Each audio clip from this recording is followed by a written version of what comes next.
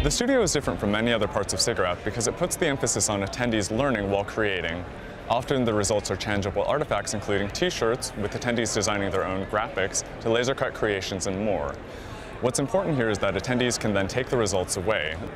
We work hard to create an inviting atmosphere for attendees to join in and explore the different opportunity to create, build, and share.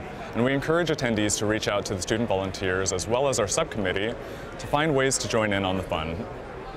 So aside from our hands-on projects, the studio also features talks and courses. Studio Talks celebrate innovative solutions with novel results. For instance, this year we have a number of talks from game developers, including many independent studios. Similarly, we have some talks on impact-driven use of more commonly accessible technologies such as 3D printers featuring applications from archival purposes to prosthetics. We cover the spectrum with courses on both industry standard tools, as well as those that present many of our attendees with opportunities to learn something they may have always had an interest in, including Arduinos and microcontroller programming.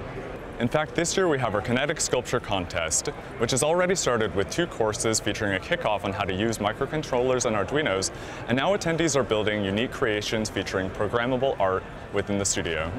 One of the highlights of this year's studio is a project by State of Play, which brings attendees through the process similar to their game Lumino City. The Lumino City project will continue to grow throughout the week as attendees develop their own props, environments, and characters, adding to what's already been created by previous attendees.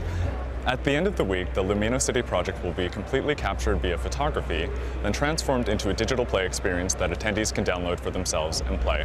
Other highlights include our command control print area featuring a variety of Epson hardware. Attendees are encouraged to draw on the Cintiqs, print out their own designs, as well as participate in the Draw Off and T-shirt design contests. The studio also features a variety of high-quality juried content. We have projects featuring acrylic bending techniques, two paper circuitry, and more. The studio also features content by a group called Mimu Gloves. This group was created by Imogen Heap, a British recording artist. She's joining us remotely on Tuesday morning for a talk on both the creative and interactive opportunities provided by the hardware, which will be followed up by an in-depth look at the wearable technology.